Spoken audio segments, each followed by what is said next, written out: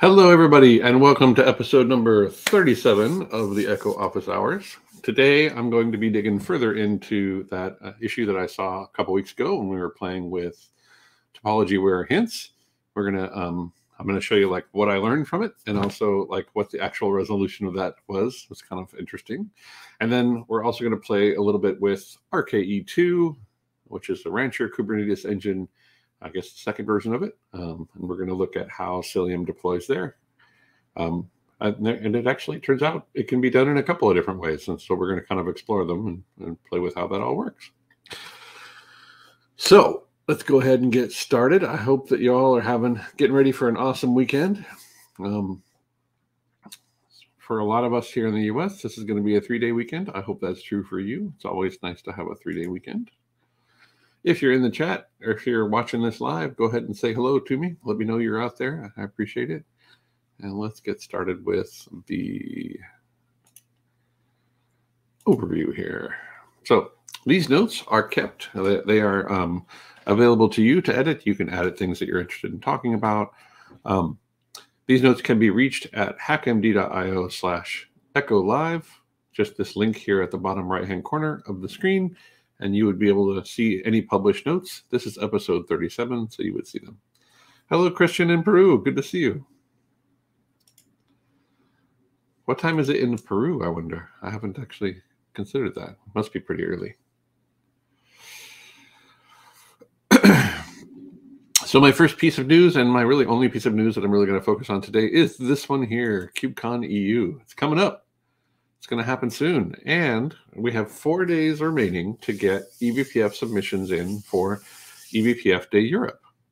So the, the day will be May 16th, 2022 in beautiful Valencia, Spain.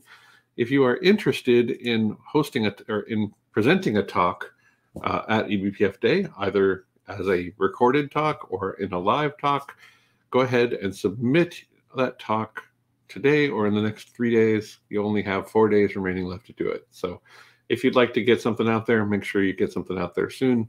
Otherwise, we may not be able to consider it for the event. Um, if you're interested in finding this, you can actually catch me. You can you can follow the link in the HackMD, or you can um, just uh, you know check out Twitter, and you'll see me tweeting about this uh, right here. So the uh, the link is events.linuxfoundation.com org. And if you go there and you look at events, you're going to be able to see the um, Cloud Native eBPF Day in Europe for May 16th. And if you'd like to register or submit to speak, you have four days remaining to do it. And the show is about 12 weeks away. So should be really exciting. I really hope you'll be there. I'm planning on being there in person. And if you're there with me, that would be awesome. Mr. Nick Lane, good to see you, sir. Awesome to have you on. All right. So if you want to get a talk in, do it now. Don't wait. Just do it. If you have questions about how to do that, if you want some help reviewing your submission or anything else like that, hit me up. Um, my twi- my DMs are open, um, and I would love to help get that moving forward with you. So do let me know. Now, when last we met our heroes, we were talking, uh, we were working through episode 35, which was talking about Kubernetes topology aware routing and Cilium and this is a new feature. Um, and it's a it's behind a feature gate in in Kubernetes 1.23, and that feature gate is topology aware hints. Um, I'm going to show you how uh, to configure things to make these things work. And so, like, this is my kind configuration that you saw me using last time. And inside of here, I've enabled that feature gate, the topology aware hints piece of it. And then part of the other configurations that I've done inside of that kind cluster is I disabled kubeproxy and I disabled the default CNI that comes with Kind, which is KindNet. And then we deployed Cilium. There were some other changes that I made here. I made sure that I deployed the, the uh, kubelets with a topology label, telling them which topology I want them to be in or which zone I want them to be in. And then down below here, I had the kind start command. I was targeting version 123.3 here and I named the cluster Cilium just to keep it simple and know which one I'm talking to. And then here is the Cilium install command that we use to get this thing going. Hey, Chaco, good to see you. And then here we're actually using kubeproxy, we're replacing kubeproxy with the function, the same functionality in Cilium. So Cilium will handle all of the east-west load balancing for services within our Kubernetes cluster. And what we were actually looking to validate was that we would be able to uh, uh, that we would be able to actually make use of topology-aware hints within it. So in this configuration of Cilium, I basically told it to use kube proxy replacement strict. I've given it this string, K8 service host, and this is important because since Cilium is the replacement for kubeproxy, we have to tell the Cilium agent how to talk to the API server. For the most part, you can rely on kubeproxy to handle that question of like how do I talk to the API server. But if we're replacing kubeproxy, then you have to tell us how to do it, right? And so we have this string here in our configuration that tells it this is the host name or uh, of the control plane inside of kind for a, for a cluster named Cilium. And then what port to talk to.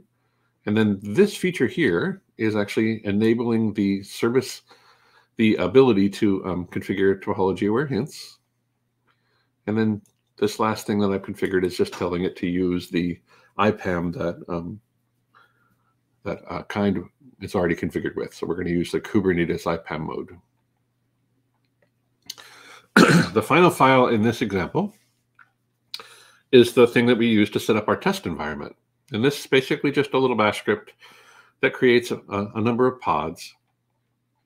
The goal here is to put two pods, uh, two pods that are like statically defined on each node, and to have each of those pods have a name that is gives us a pretty good view into where these things are deployed. What is the difference between topology hints and zone node information that can be found in an endpoint slice? They are the same. The topology hints are really uh, the ability for the um, controller manager to further the information in, a, in an endpoint slice so that if you were like in AWS and you had uh, your Kubernetes cluster deployed across multiple zone, multiple multiple um, um, re not regions but zones, yeah. So you have US West 1A, US West 1B, right? And your goal is to deploy your application such that it's balanced across those two zones. And you want to make sure that you're not sending your traffic across those zones and incurring the cost of transit between those two zones. Maybe you want to just have something that keeps that topology aware of the zone that the traffic is in. So the way that topology aware hints works is that it will actually further instrument the endpoint slice such that when the traffic is yeah availability zone exactly when the tra- when the traffic is um, coming from your client application, it will determine what zone that client application is coming from, and only route traffic to those endpoints that are within the same zone as your client application, which is pretty cool. I mean, it's a pretty handy feature. All right, so let's play with this a little bit, and then I'll show you what I ran into last time and how this was actually fixed. So it's a little bit of a deep explanation. I'm going to talk about it real quickly, but effectively what happened before was that I had um, configured my laptop, cat proc cmd line. This is your command line for your for your uh, Linux kernel. I'm running a Linux kernel, and inside of here, I had configured this such that I was using Docker cgroups v1. If I were to do Docker info and do a grep for group, this here, where it says C group version, this was C groups v1. And uh, further, when I create a kind cluster like I've got here, right? If I do kubectl get nodes, I can see that I have like six nodes deployed, and they're all uh, running inside of Kubernetes, inside of Docker containers. Now, the interesting thing about Docker is that each of these containers is using the same kernel. And that means that instead of having kubelets that are on different machines, all of my kubelets are sharing the same Linux kernel. And when I had cgroups v1 turned on, I was actually limiting uh, Cilium's ability to understand some of the more intricate details about that endpoint slice mechanism. And so I wasn't actually uh, so before what happened was when I was trying to actually do some testing with the, with some of this traffic, I wasn't actually seeing it balance across the endpoints that had been defined, and that's because those endpoints, uh, and that's because the uh, each of the agents was configuring the kernel in such a way that it considered it was it considered it was the only Linux kernel associated with that particular node. But in fact, every node in my cluster is using the exact same Linux kernel, not the same version, but the same one. And that means that they have to play a little nicer with each other. Now we have programmed that and we test it every day and we test it in our CI with cgroups v2 enabled, but we didn't test it with cgroups v1 enabled and that's what caught me out. So dash A, so here are all of my agents or all of my pods that I've deployed inside of my cluster. Um, and you can see that I have, yeah, exactly. It was an interesting, it was an interesting challenge. Labels. I've got these instrumented in such a way that a couple of different things is happening, right? So I have the name of the pod, Echo One and Echo Two. So there's two, uh, there's two types, there's two pods on each worker. And then I've labeled these things such that I can actually see what zone they're in, right? So these two are in zone A, these two are in zone B, these two are in zone C, etc. So if I do a get pods dash L zone A, I'll be able to see all of the pods that are in zone A. And you can see that that's those are any pods that are on worker and worker two. Now, if I did kubectl get nodes, uh, show labels, I can see that I have annotated my nodes with zone information as well. So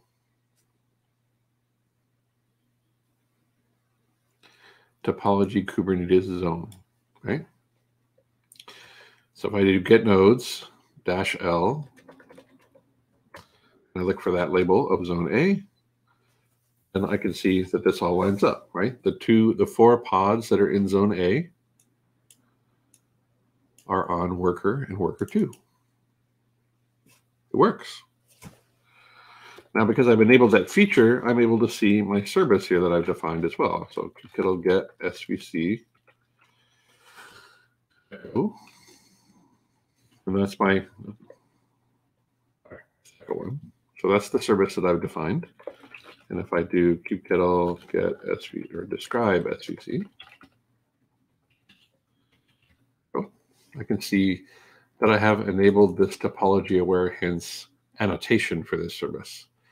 And this is actually how you enable this feature to be used inside of your cluster, right? And so in this case, any pod that I deploy, if I deploy that pod into any of these zones, it's only going to see, it's only going to send traffic to some subset of those endpoints that are within the same zone as the pod is deployed, as the client application is deployed to. So let's see how this works a little bit under the covers, and I'll show you a little bit more like uh, some of the troubleshooting I was doing before. So to Nick's point earlier, get, get endpoint slice go dash o YAML.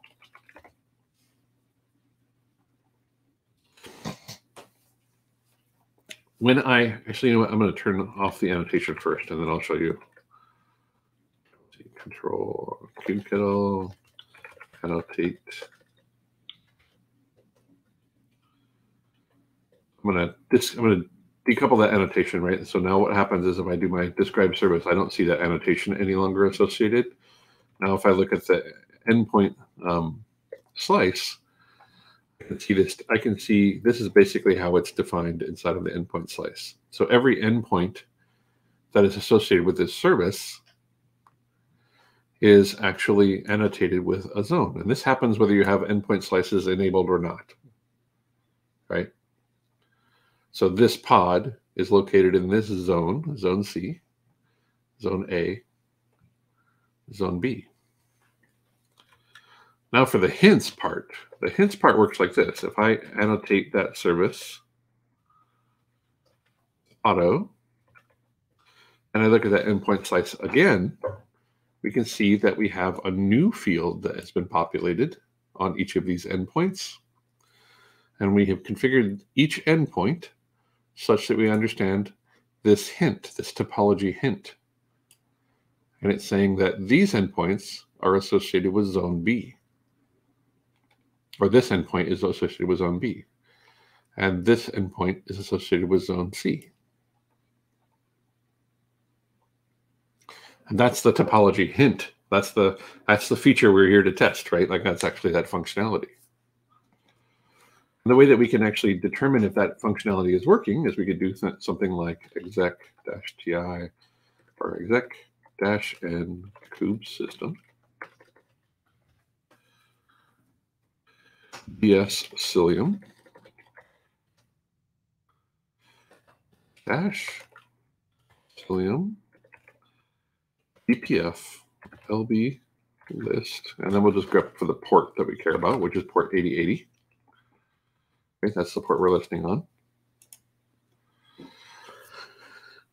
And we can see that the this is the view of the service when it is configured according to the hint, right? And so for this particular version of for this particular instance of the Cilium agent, when I try to access that service IP address, this traffic will be balanced across those endpoints.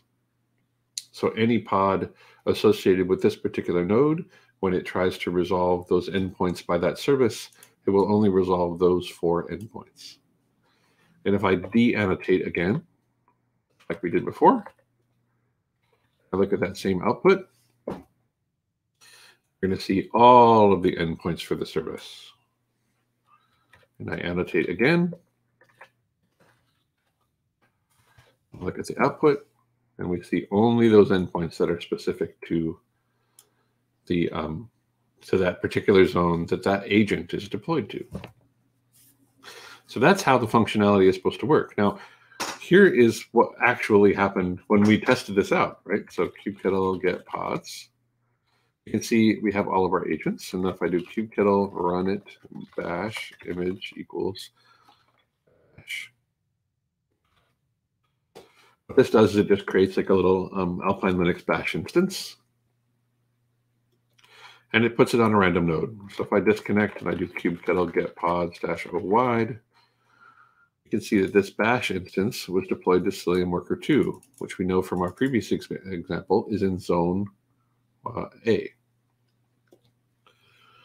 So now I'm going to exec into this guy, kubectl exec ti dash n, actually uh, bash, bash, add curl here. I'm going to curl echo dot svc default. I'm going to grep for the zone. I'm going to make it less verbose.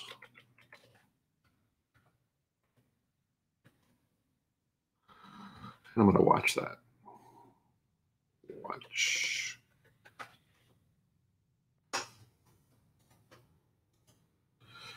In fact, I think I'm going to break this out a little bit more. I'm going to do an egrep. I want to look at my output real quick. I want to get another, I want to get a host name in there. Host name. Yeah. So we're going to look for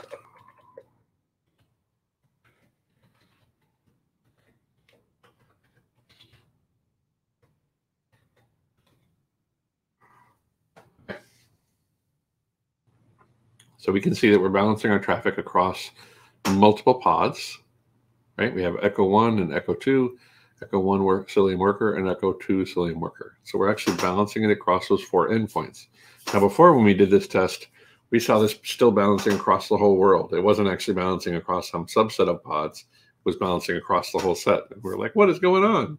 But that was actually what was happening was that we didn't see the right mapping in C groups V2 because we weren't able to detect that. But in C groups V, uh, sorry, in C groups V1, in C groups V2, things work accordingly, so we're able to see that change. So let's do one more test here. Let's go ahead and do our, our D annotation again that we saw before. Notate. And what do you think will happen? Now we're in zone B. Zone A again.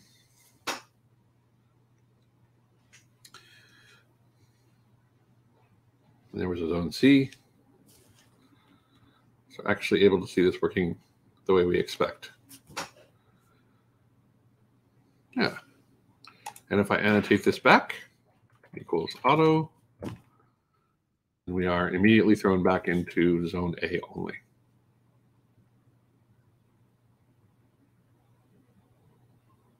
Pretty cool. So that was a kind of a, a follow follow up on the most recent episode, episode number 35. Um, and if you want to try this out, if you want to try this out, you can try this out uh, inside of your environment. I've gone ahead and included all of the detail in episode 35's um, HackMD. So if you want to try it out, give it a try. Let me know how it goes. It should have everything you need to try it out. But yeah, let me know if that doesn't work out. Cool. So you can think you can definitely consider this as somewhat of an advanced use case because I'm trying to do this with Docker containers, and for the most part, we actually do this with real nodes. And so I was going to show you what I did to try this out on a real node also.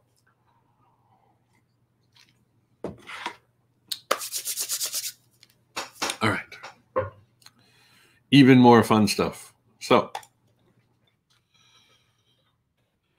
I have this box that's running in, uh, I think it's in Google Cloud right now. It's a, it's a just a Google, it's just a nested virtualization instance. And you've seen me talk about this box and this configuration before in the OpenShift discussion that we had a few weeks ago. Um, and you can do this pretty much anywhere you have um, libvirt and uh, Vagrant deployed together. So I have Vagrant and the libvirt um, Vagrant provider configured inside of this host. And what I've done further is I've defined a Vagrant file. So I'm going to walk you through that Vagrant file real quick and show you what kind of what I've been up to here.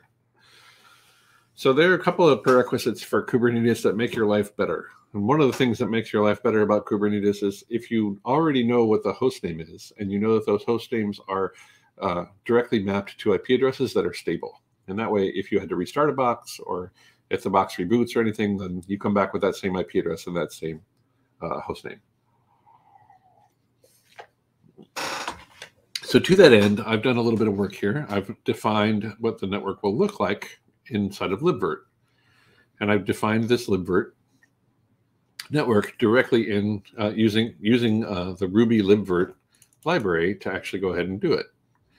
And so I've defined that there will be four hosts, and I've given them static MAC addresses, and I've associated those static MAC addresses with uh, reserved IP addresses. So anything that tries to come up and talk to the DHCP server and say, I am 0301, then you are going to get the 201.31 IP address. And this is going to be your host name. Right? I've configured it, I've configured it that way inside of the libvirt networking mechanism. And then down below, when I'm defining my machines, I'm also defining that MAC address so that when the when those virtual machines are started up, I'm predefining what the MAC address will be when associated with the management network. And that way I can tie that in, right? So these these hosts always have the same IP whenever they come up or whenever they go away. Makes my life easier for restarting and all of that stuff. Now, some of the other things I've done inside of here is I've configured um, a couple of different libraries here in the front. And if you want to see this in kind of a more, uh, maybe an easier to see way, if you go to our HackMD notes for this week, again, are right here in your lower right-hand corner, hackmd.io slash echo live. Hello, Judge. Good to see you. Then I put the Vagrant file in here as well. So you can actually look at how I'm doing this and like what this looks like and all that stuff in here. I want to do something a little bit more dynamic with this piece of it, like leveraging um, some uh, some templating stuff instead of actually like statically defining it. But I haven't gotten around to that yet. Uh, as I proceed with that, I'll probably end up like throwing a project up that actually does that somewhat dynamically. But for now, this static definition works pretty well. And if you have Vagrant and libvirt deployed, you should be able to make use of it. So going back here, there are a couple of other things I've done. Uh, I, since I'm using the um, generic Ubuntu 2004 image, I've defined a fix to the DNS because that image, for some mysterious reason, actually tries to define its its DNS dire- uh, directly, and it really breaks the world. And so this is just a little script that makes it so that it leverages the DNS that is handed to it by libvirt, not some static set of DHC, uh, DNS servers that were configured by NetPlan. That fixes it right up. The next thing I did is I defined a server line, a server uh, server code chunk, and an agent code chunk. And these are actually used to define the configuration for Rancher Kubernetes Engine 2. And the way that you do that is you create a file that's called config.yaml, and you place that file on the file system at etc rancher rke2. And here in, inside of that file, you can define some parameters that allow you to configure RKE2 however you want. So again, since in my configuration, this control plane node is cp01.c1.k.work, I need to add that um, FQDN to the SAN, this TLS SAN line here. And so I've populated the TLS SAN to say that this is going to be the, this is for this particular agent, this is the host name. I've defined a static token, Vagrant RKE2, and this token is going to be used by all of the agents in RKE2 speak to register with that control plane. The other thing I've done is just like in kind, I didn't want it to deploy a CNI. I wanted to deploy the CNI myself, and so I set CNI to none. Now, one thing I wanted to point out, which I thought was pretty interesting, on the rancher side, you do have the option to uh, deploy Cilium directly. And so you can, there is a thing called RKE Cilium, which is a Helm chart that Rancher will deploy for you that will deploy Cilium as an underlying CNI for your cluster directly. Now I wanted to do some customization, so I'm not going to follow that path. But if you just wanted to like get an RKE cluster and use Cilium as an underlying CNI and not do anything funky or special, then you could just you could, you can just do that directly using this mechanism.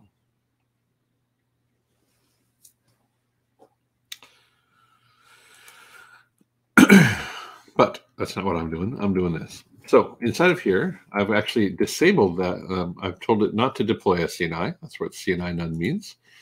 And then just like in my kind configuration, I needed to enable that feature gate, the topology aware hints feature gate, such that uh, I could turn that on. Now this job tracking one, this is something that um, RKE does by default, and I didn't want to mess with the defaults, so I just coupled that in there. For the feature gate to work, you need to apply it to the API server and the controller manager. Um, I would expect that we would have to apply it to kubeproxy, but in this case, since we're not deploying kubeproxy, we don't have to worry about that configuration. And then right down here on these next two lines are how we're disabling kubeproxy inside of this RKE cluster. For newer versions of RKE, they actually have they've been deploying kubeproxy as a static pod. And so to disable it for those newer versions, you have to do disable dash kubeproxy true. In the older versions, they were using a, a Helm chart to deploy kubeproxy. And if you want to disable any of the Helm charts that are defined by default inside of Rancher Kubernetes engine, you can create this section that's called disable and then list those things that you want to disable. And then right here is how I'm installing the Rancher Kubernetes engine piece. So, so easy. I don't have to install containerd. I don't have to do any of the other work that has to happen at the lower level on a node because they have compiled all of that, all of the dependencies and everything right into the server binary. Pretty wild. Kind of blows my mind when I think about it, but we're going to take a look at how that is uh, laid down in the file system here in just a second. But it really kind of, I was like, wow, that that's cool, you know. So inside of here, I'm telling it what version of RKE2 I want to deploy. And you can get that version directly from the RKE2 website. If you go to RK, getrke2.io, it'll give you the list of versions that are available. Or you can go to the GitHub project and see those releases. I'm running 1.23.3, just like I did in kind, because I wanted to see this feature set tested in 1.23.3. And I'm really doing a curl to shell to install it. Don't hate, you know, it's just makes my life easy. And then I'm doing system enable, systemctl enable now RKE2 service. And this is only on the server node, the CP01 node. On the agents, I have a more generic configuration, right? Where I don't have anything specific other than saying that the server will be CP01C1K8.work. And then the important bit is that you point at the Rancher listening port for that. And then the token that I'll use to authenticate is that static token that I've already defined just above. And then instead of starting the RKE2 server service, I'm starting the RKE2 agent service. Well, that's an overview of the Vagrant file. Let's go ahead and get things started up here and take a look at how this works.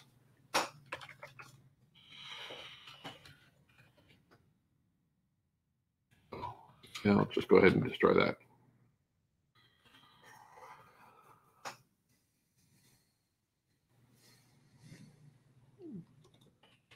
And we'll start, we'll bring it up again. So in parallel, it's starting those four VMs, three workers and one control plane node.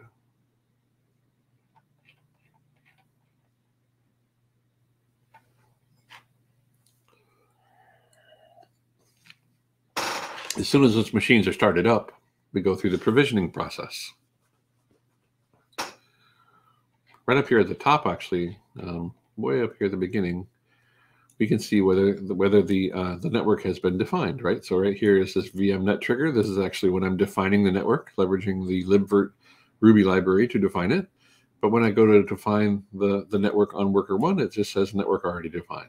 And network already defined for worker three, right? Because it's already been done. So we don't want to recon we don't want to redefine it. And then down below, it actually shows me those things that are running, right? So here's my fixed DNS script. And then here's my RKE agent script that's running. And then I also have an RKE server shell script that's running. It's grabbing the version of RKE that I asked it to download. And then it's gone ahead and um, done a system systemd enable on that, on those services. So now that should be forming my Rancher Kubernetes engine cluster without doing anything more than just using the Ubuntu 2004 image and using RKE as a as a shell installer. Pretty wild. So it takes a second while it goes through its process because basically we're, um, I did a systemd enable now, which means that it's going to wait until the service is completely up before releasing the, the link. And so this tells me that um, once I have actually received, once it's actually completely up, then I'll be able to see it release and see things connect.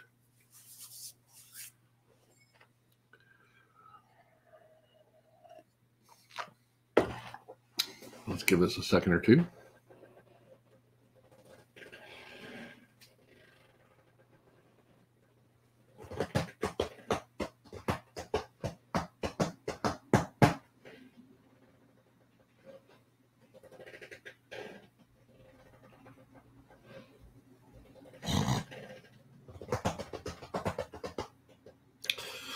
Hope you all have good plans for the weekend. How, how many how many of you are actually going to have a three day weekend over this next weekend? I hope I hope most of you. But here in the U.S., we're celebrating President's Day, and so we are actually getting a three day weekend this weekend. It's going to be pretty awesome. If I do uh, kubectl, actually, what I need to do next is grab the the, um, the configuration file, and the way that I can do that is that we're going to be know ah probably because you're going to be busy, most likely. So inside here, uh, I have this command that's actually going to SSH into my CP01C1K8.work node. And from the file system, it's going to grab this RKE2.yaml file. And that is an administrative credential that RKE creates on the control plane nodes that you can use to interact with your Kubernetes cluster. Um, it's configured by default to, look to point to localhost and I wanted to change that configuration to point to the host name. And then I'm going to drop that right into my local file system and make that my default kubeconfig.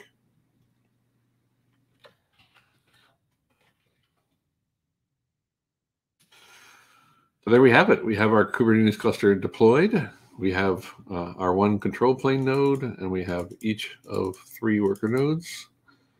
We have, we're running version v123.3 and it's the RKE engine release one.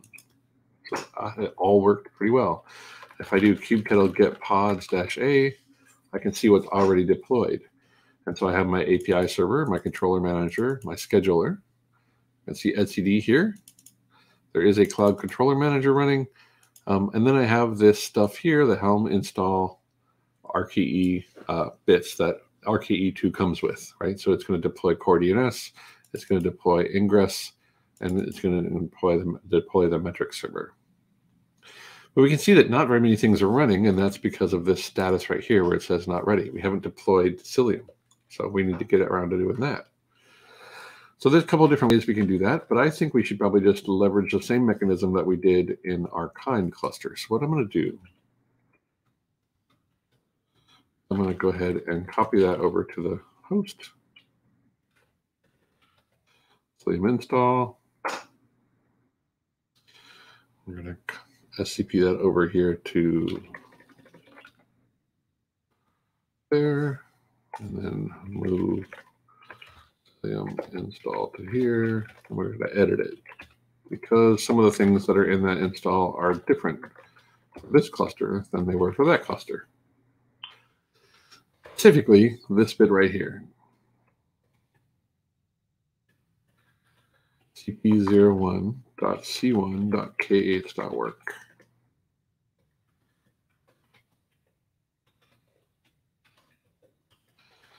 And then I think it's still 6443.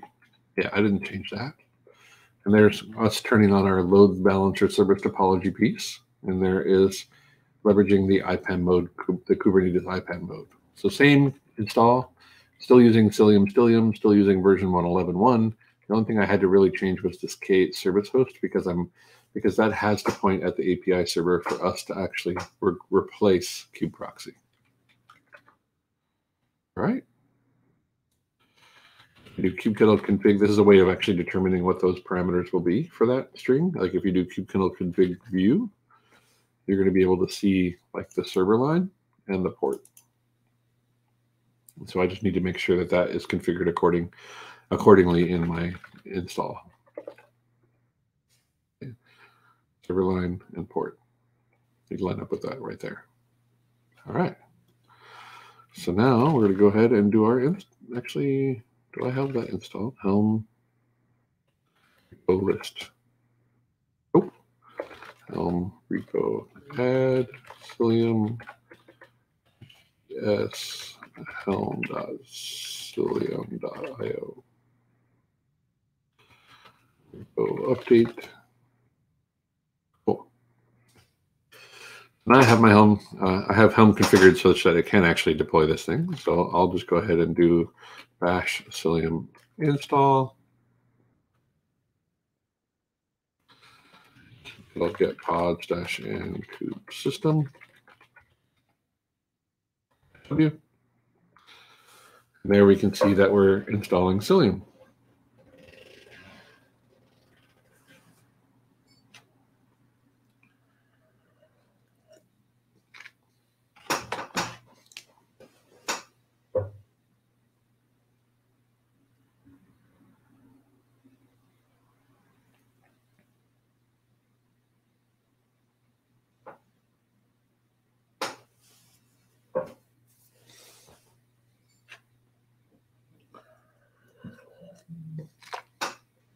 And there we go.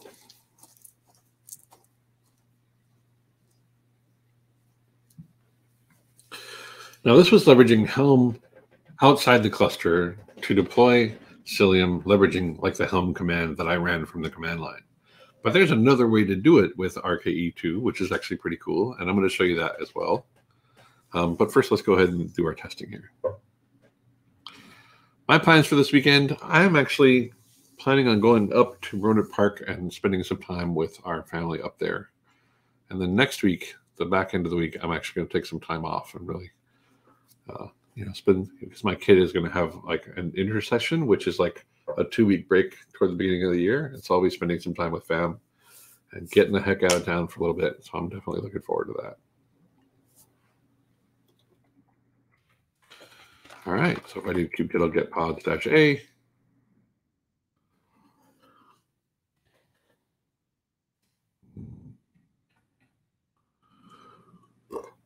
Something's mad at me.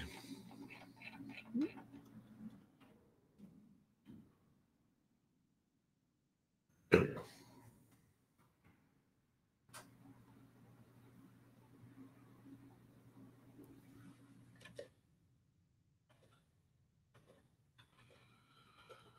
right, so we're all the way up and running. Things are working. If I do Cilium, uh, connectivity, test. So we have a kind of validating your, your Cilium deployment. In another window, I'm going to jump over here and do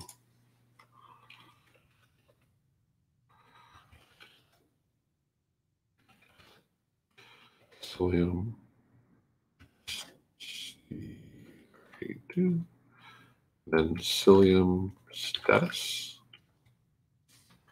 And it will show me that all four pods, all Cilium pods are up and running, and this is the version that we're operating. We're seeing all of the things get deployed and working correctly.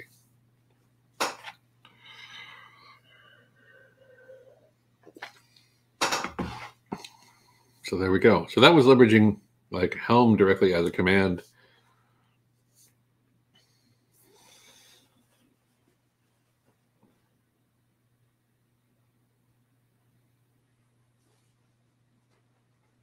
Should we get topology hints working on this thing before we break off? Because like that'll be our next step. So if we're going to do that, there are a couple other things I would need to do, which I did not do already.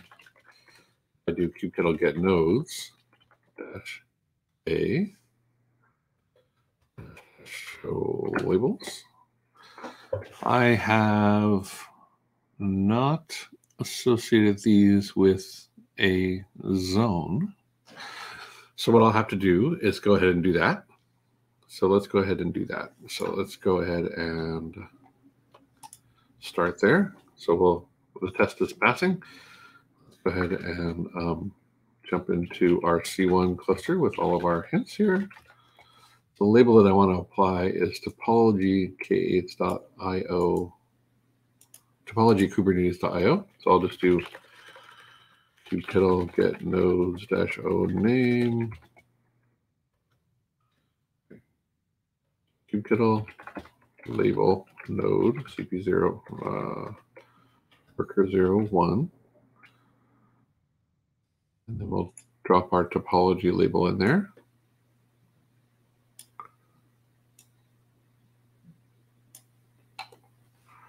A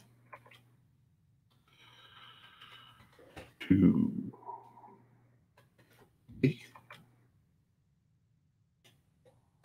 three C. Now if I did kubectl get nodes dash L topology uh, kubernetes.io zone these are all the nodes that have that uh, label. And then if I wanted to look at just A or just B or just C, see that stuff. So that's now got a topology label. So any services defined will actually have that information, right? So if I do kubectl get pods, I can see I don't have anything defined in here. Let's go ahead and scpr pods.sh over to That'll be our way of creating these pods instead of here. So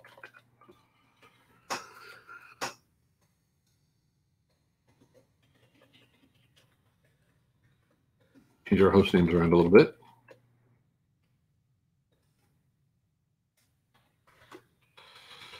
Look at nodes.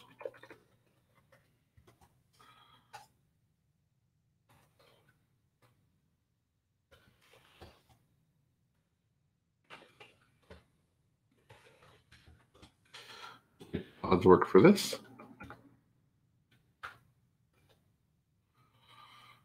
One, two, three. Definitely a different set of a different number of workers. We had like six before. That this will be A. No, this will be B. This will be C. That implies for worker in worker zero three that works and then Create our service. All right. Did I put that in there? Worker and worker zero. Yeah, it's in there.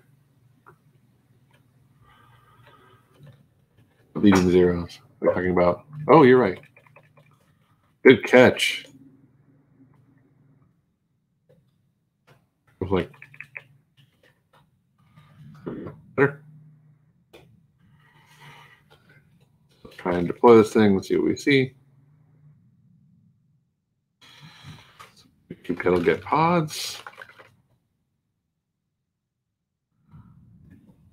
L zone equals A. B. C. I'll describe, actually get endpoint slice echo YAML. And we can see that inside of here, we already have that feature that we were talking about before, right? So I haven't turned anything on other than just giving a topology, a topology key to each node. And then as it defines inside of the endpoint slice, it's going to define which node it's in and which zone that node is part of. Looks good. If I were to do that same command that we ran before, I exec into the Cilium agent and kube system ds Cilium. Cilium BPF LB list grep 8080. I have more 8080s here. Uh, let's see. Kubectl get SVC. Yeah, so this is the one that I'm looking at.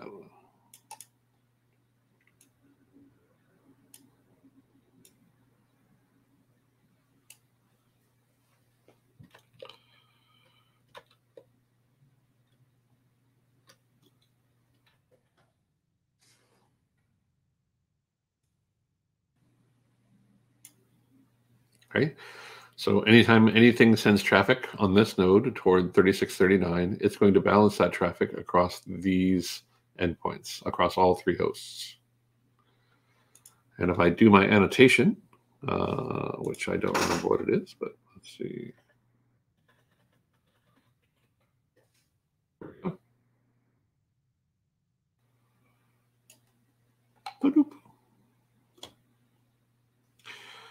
I do that same LB list?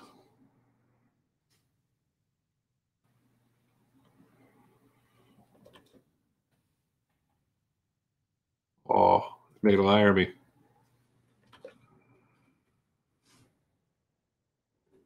Look at that. It's still not it's still running against the set.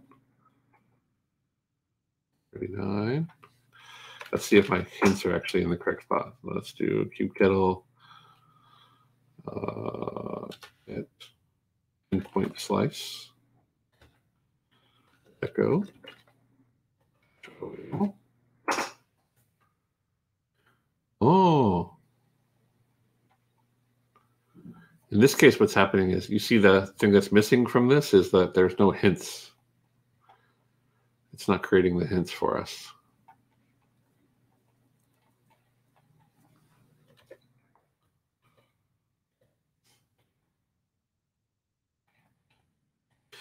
So that means that the service isn't being hit. There's no hint here for us to pick up on. So we're not actually, you know, picking up on it and making it work. So I wonder why topology hints isn't working here.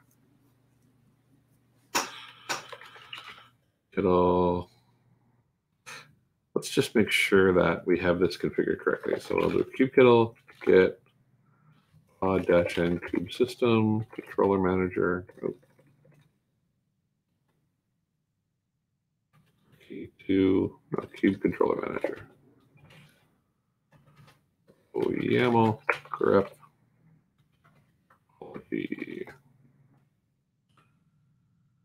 So the running controller manager definitely sees the topology aware hints true. Yeah, good question. That's great minds think alike. That's exactly what I was thinking about.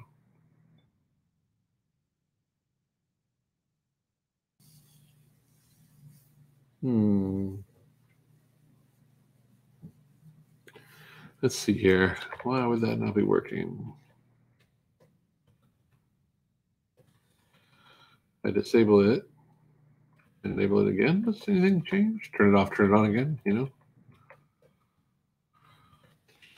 Log station to the system to controller manager. Seeing the zones.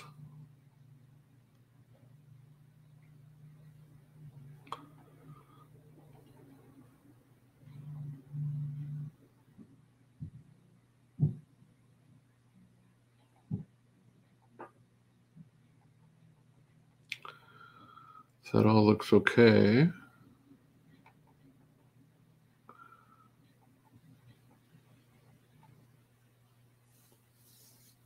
Is the controller manager that's doing this work.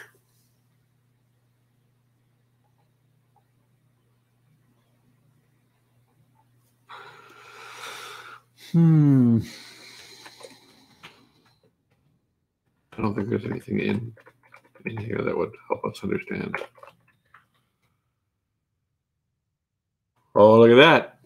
That's our problem. Can't get CPU or zone information for worker 3 node.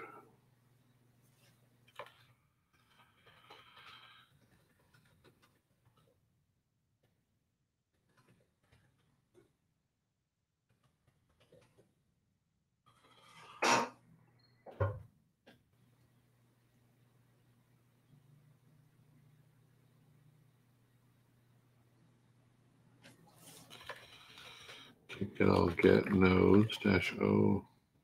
Oh.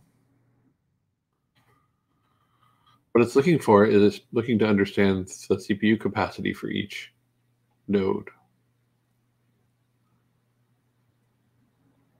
It looks like we're reporting that. So I'm going to go ahead and do a custom columns here because I want to see this. So I want to see status capacity. Get all get nodes. Show custom columns. Oops. Name dot metadata name. CPU uh, dot status dot capacity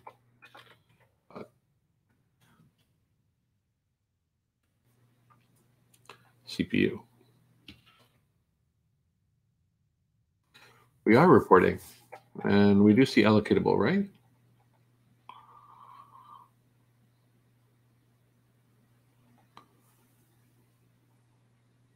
Allocatable, yeah.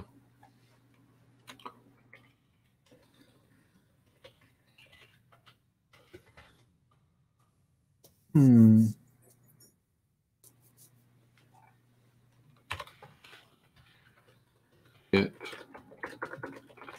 Endpoint slice. Trial. Oh. We're seeing the zone associated with it, but we're not seeing the topology.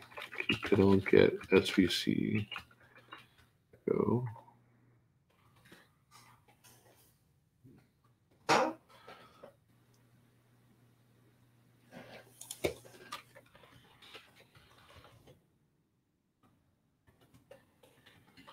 If that were true, then there would be no running pods. So Nick says it looks like Cilium wasn't operating on worker three.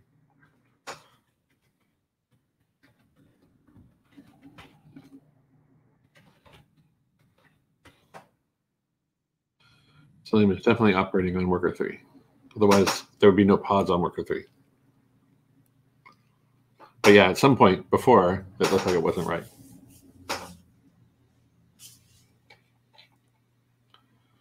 You saw conditions.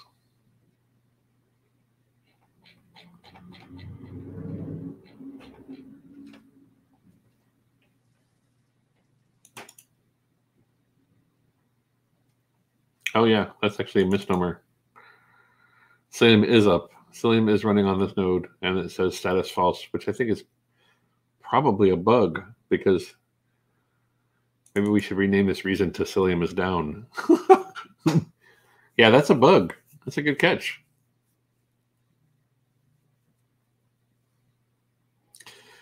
The language of conditions is always kind of weird, right? Because like in here it says like, you know, for example, kubelet has sufficient memory available. Reason kubelet has sufficient memory false type memory pressure. But we know that that's actually not the case. Like it's not in a it's not in a memory pressure state. So these things are, you know, sometimes they're kind of hard to grok correctly the way that they are written, but it's unfortunate.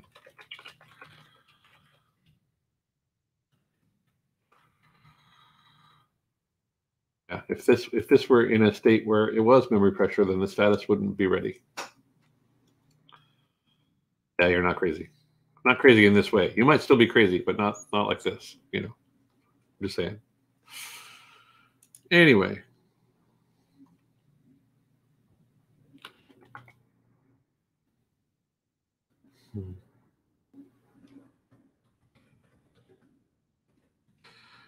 Try turning it off and turning it on again just one more time. See what happens. Because I have seen this work. Type svc-n endpoint slice.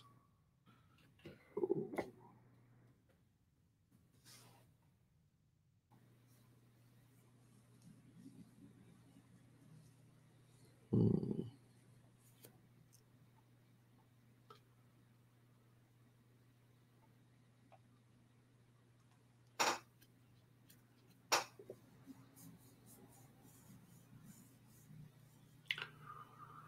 Yeah, I think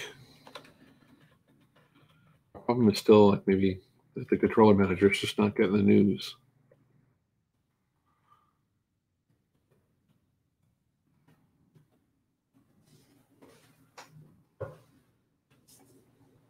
Because it is moving to normal at some point.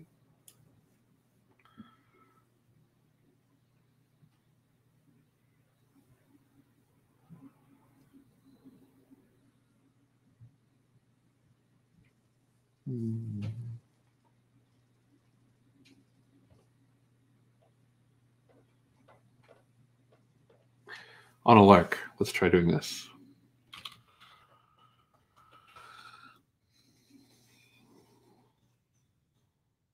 Ah, that was the other thing I was going to show you about this RKE stuff that kind of blew my mind. So, um,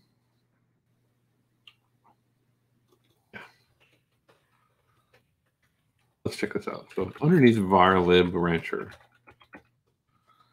is the world of RKE2. Uh, that's the that's the bin directory, and then the agent, the data server, all the all of the stuff that you would normally go looking for in Kubernetes land is all inside of here. If I go into agent, I see things like pod manifests. So these are the pod manifests associated with the cluster right now. These are the static pods that are actually running the controller manager.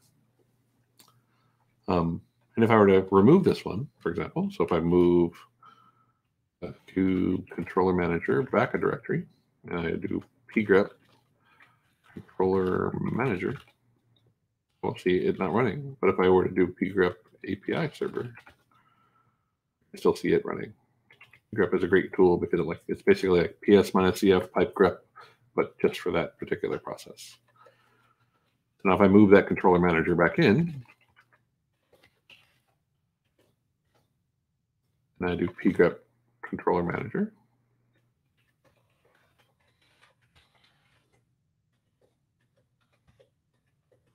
Uh, we go.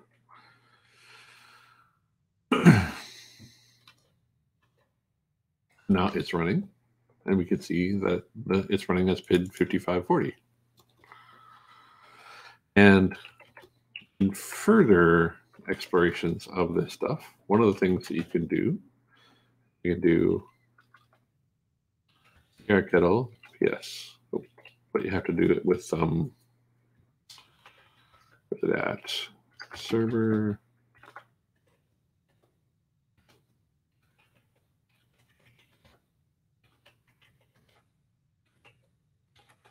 RKE2.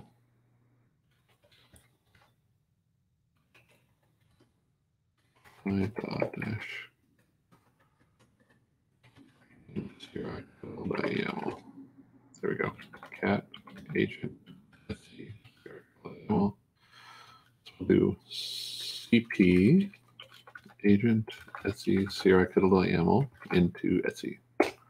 That just moves that file into the hosts Etsy. So now when I go into here and I do crictl,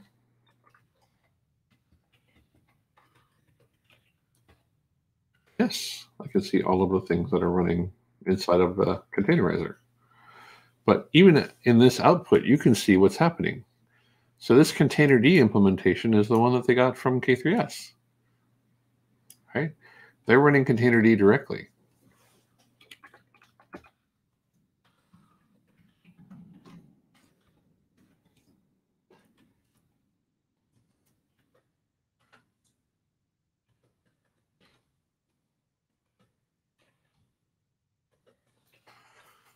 CTR. Uh, what is it?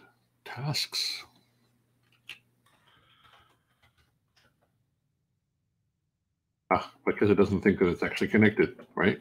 You have to give it the you have to give it the uh, address that you're on. You have to tell it where to find it. Agent cat.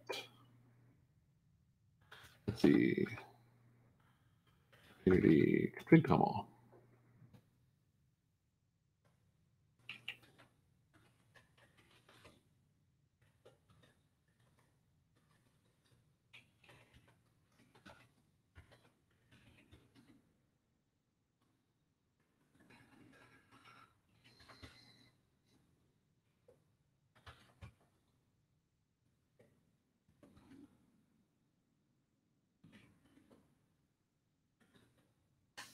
And the address is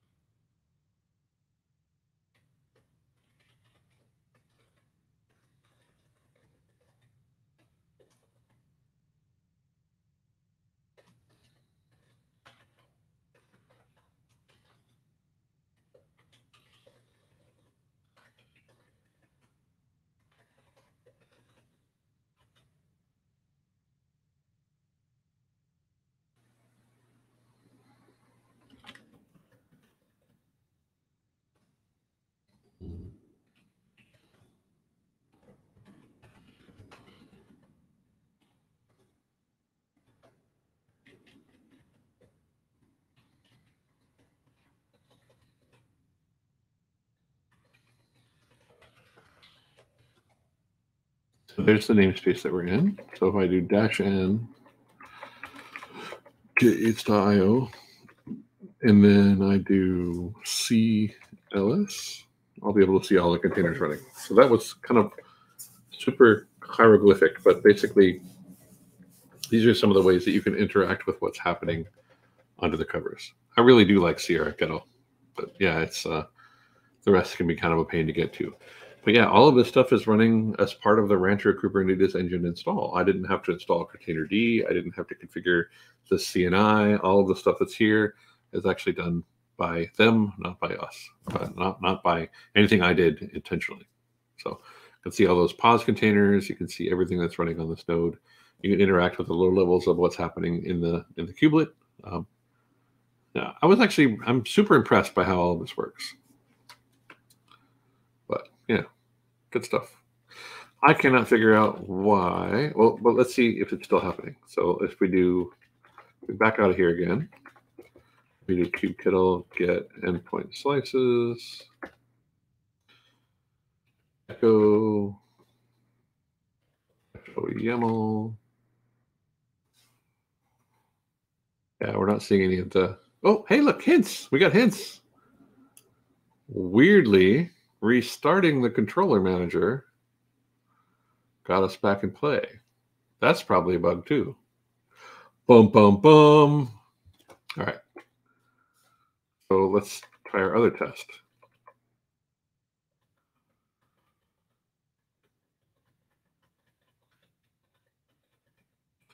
Now that we have hints, hey, it's working. Are working. Yeah, it's always the way. Exactly. If we can restart everything all the time. That's one of my favorite definitions of SRE. Simply restart everything. It's perfect. So now what we see is once we actually kicked the controller manager a little bit, um, we were able to actually see, it was able to uh, detect the CPU uh, stuff probably, and now it's able to actually engage with topology hints.